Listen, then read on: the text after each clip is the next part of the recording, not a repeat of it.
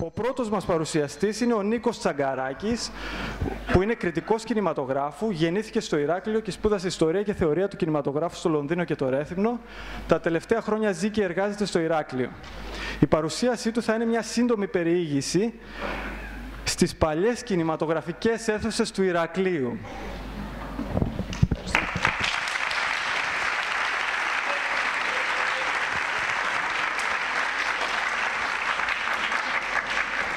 Λοιπόν, ξεκινώντας ε, τη σύντομη βόλτα μας ε, σε μόνο μερικούς από τους πάνω από 50 κινηματογράφους που έχουν καταγραφεί ε, στο Ηράκλειο κατά τη διάρκεια του 20ου αιώνα, συναντάμε το Αλκαζάρ, που ήταν μια θερινή ε, οθόνη που λειτουργήσε από το 1928 ως το 1937 ε, πάνω στα ενετικά τείχη, ακριβώς στο σημείο που βρίσκεται σήμερα η επιγραφική έκθεση του Αρχαιολογικού Μουσείου Ηρακλείου.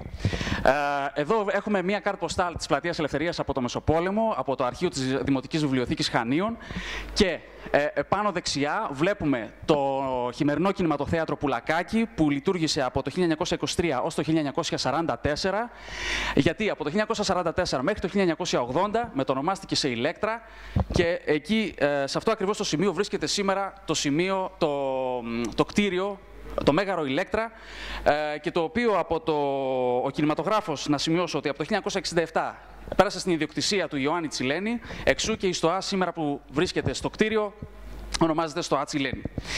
Ο επόμενος κινηματογράφος, παραμένουμε στην πλατεία Ελευθερίας, είναι το, το Ντορέ που λειτουργήσε από το 1959 έως το 1979 σε ιδιοκτησία Μανώλη Αγγελιδάκη και αυτό έχει πια αντικατασταθεί από ένα ομώνυμο κτίριο γραφείων και καταστημάτων. Όλοι το γνωρίζουμε. Και Περνάμε στο θερινό, στον θερινό κινηματογράφο της Πλατείας Ελευθερίας, που ήταν το Σινέ Κάντια, εκεί που αργότερα στήθηκε το γνωστό σε όλους μας Λούνα Πάρκ. Ε, το Κάντια λειτουργήσε από το 1968 έως το 1976, ενώ να σας πω ότι από το 1929 μέχρι το 1930 λειτουργούσε και εκεί θερινός με την ονομασία Πάνθεον. Αυτό είναι μια γενική ε, άποψη της Πλατείας Ελευθερίας, αεροφωτογραφία που τη βρήκα στο αρχείο του τεχνικού επιμελητηρίου και θέλω να ευχαριστήσω την κυρία Αρετή Μεθυμάκη για τη βοήθειά της για, να, για να βρω τη φωτογραφία.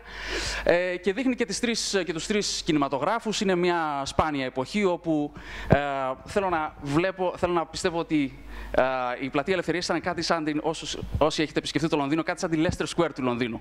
Γιατί ήταν όλοι οι κινηματογράφοι, οι περισσότεροι γνωστοί κινηματογράφοι ήταν γύρω από την πλατεία Ελευθερίας.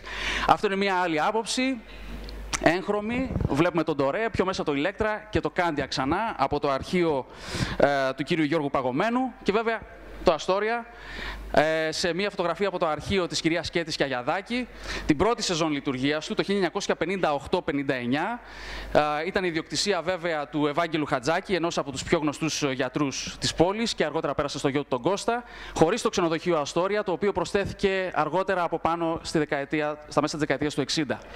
Εδώ ξεκινούν έξι, οι έξι, οι έξι επόμενες φωτογραφίες είναι από την αέγερση του κινηματογράφου Απόλλωνα.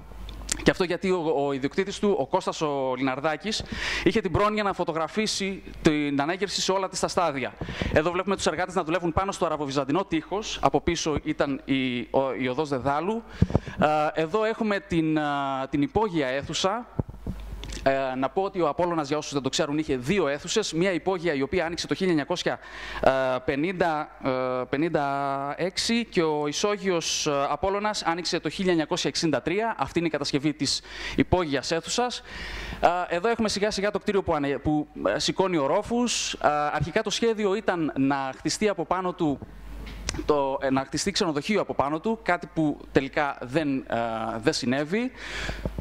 Νερό.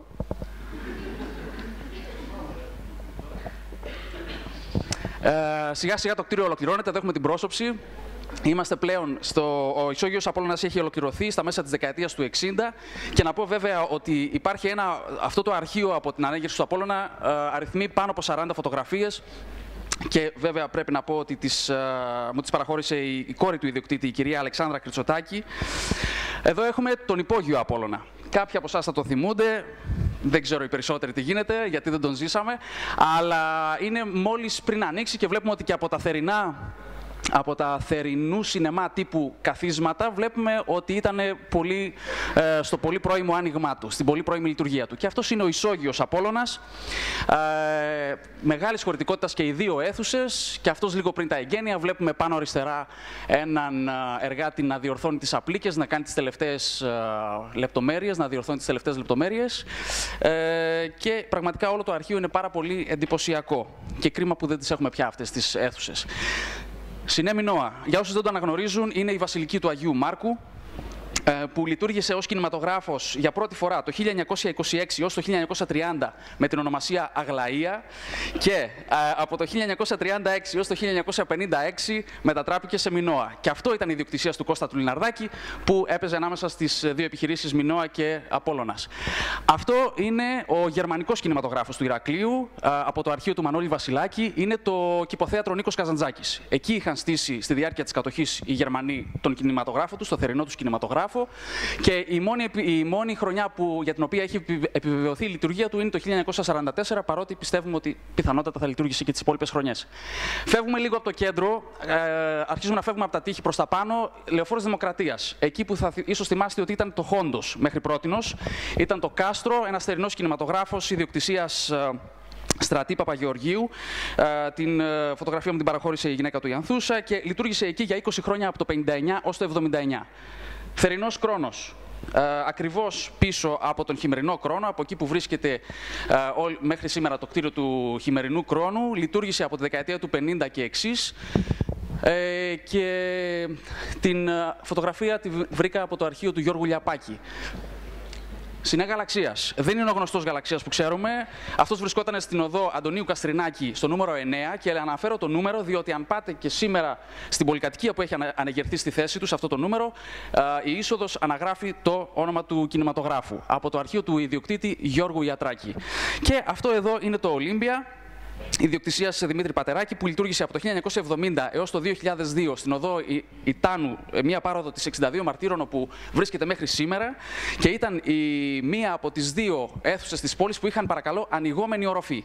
Η άλλη ήταν ο Ορφέας και εκτός από αυτή την αρχιτεκτονική λεπτομέρεια μοιράζονται και το, το, το ίδιο πρόγραμμα γνωστές. Ευχαριστώ.